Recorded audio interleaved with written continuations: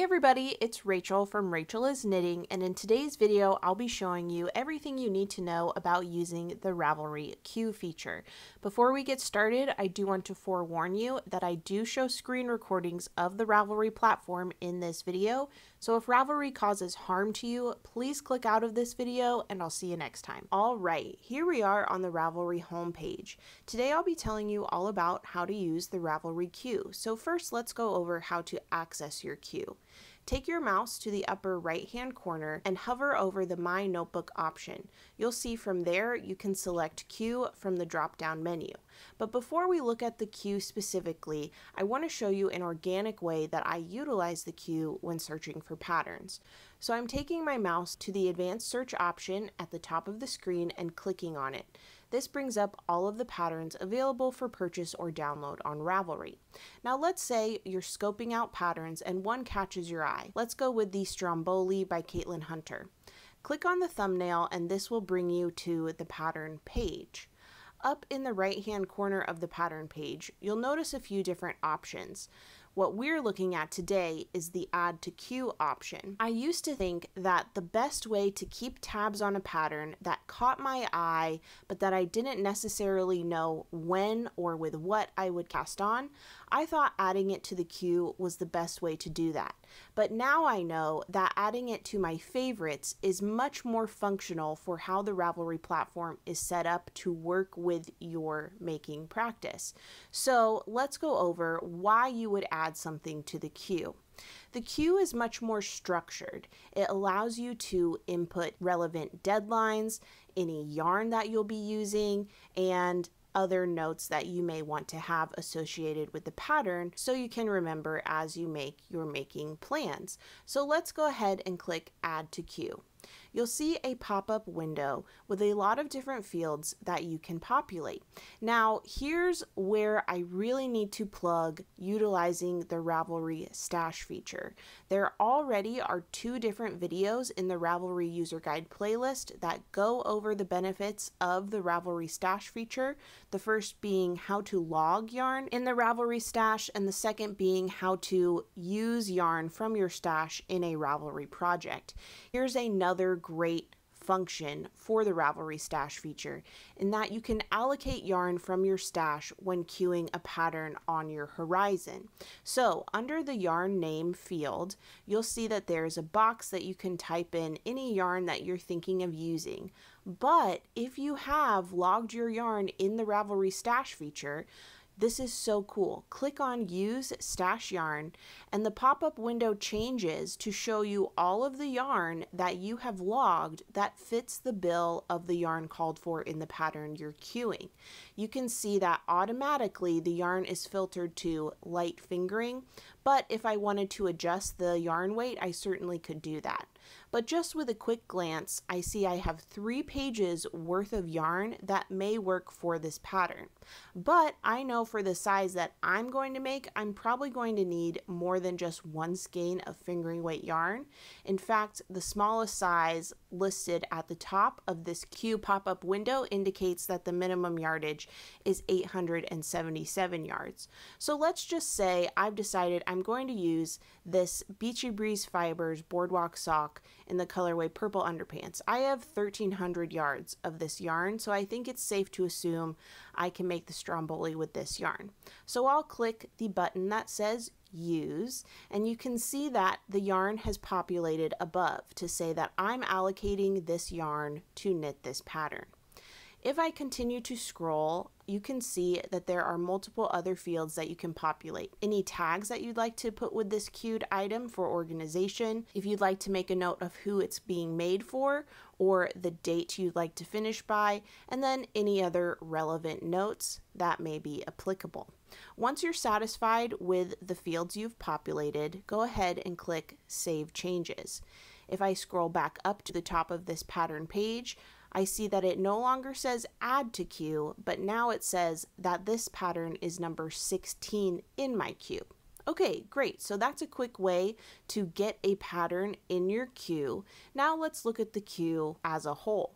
Again, bring your mouse to the My Notebook feature in the upper right hand corner and select Queue. This brings up a page with a view of all of the patterns you've queued.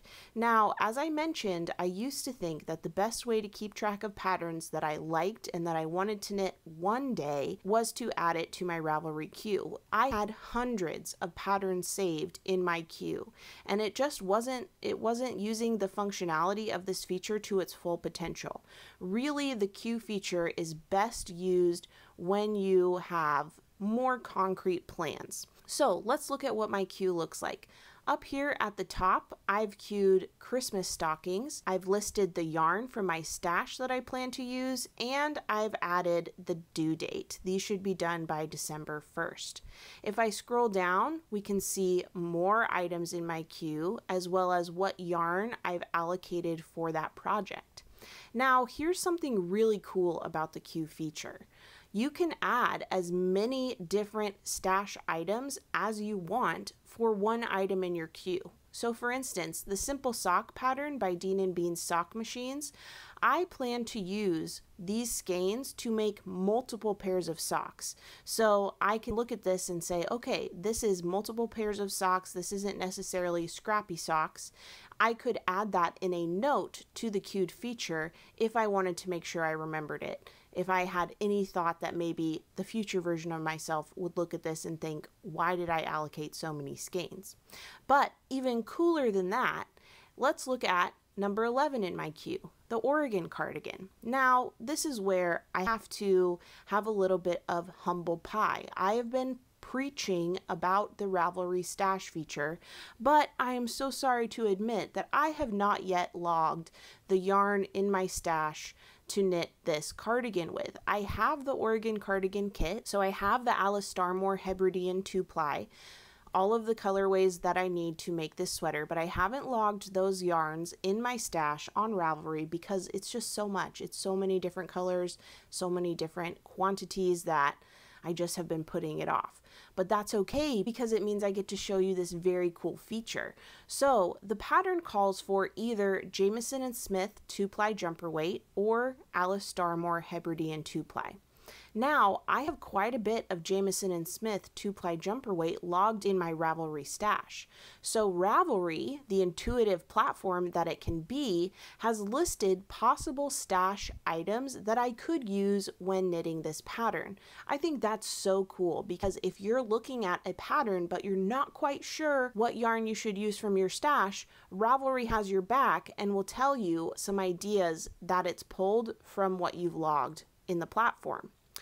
Now, okay, let's focus back and go back to the Stromboli. So, since this was my most recently queued pattern, it's number 16. But what if I want to adjust the order of my queue? Let's say my plans have changed and I need to cast on the Stromboli immediately or I'll die, or it feels like that sometimes with our making projects. So I can easily change the order. Simply highlight the number that it currently is and change it to the number you want it to be. So let's say I need it to be number one. Once you've entered that into the numbered box, take your mouse to the bottom right hand corner and click Save New Order. Now the page has refreshed and the Stromboli is at the number one spot. Now let's say I got a little too excited and I still need to make these Christmas stockings before I worry about the Stromboli. To reorder it so that the Christmas stockings are in first place, all I have to do is click the blue arrow to the left of the numbered box. You can see the page refresh and now the Christmas stockings are at the top. Now, what if you want to rearrange the queue in a much more robust way, moving multiple patterns at once? That's easy too. Just click the list of numbers underneath any numbered box this brings you to a view of your queue where you can move multiple patterns at a time without having to save each different change you make. Once you're satisfied with your changes that you can make in any structured or chaotic way that you want, simply click Save Changes, and that will bring you to an updated view of your queue that reflects the reordering you just did. So the queue feature is super functional. I highly recommend considering to utilize this feature, especially when paired with the stash feature on Ravelry. Together, they make the functionality of this platform really enjoyable. This is a great way to make the platform work for you and work smarter, not harder, when finding the next pattern you want to make. So I hope that was helpful. Happy searching, happy queuing, and I'll see you later.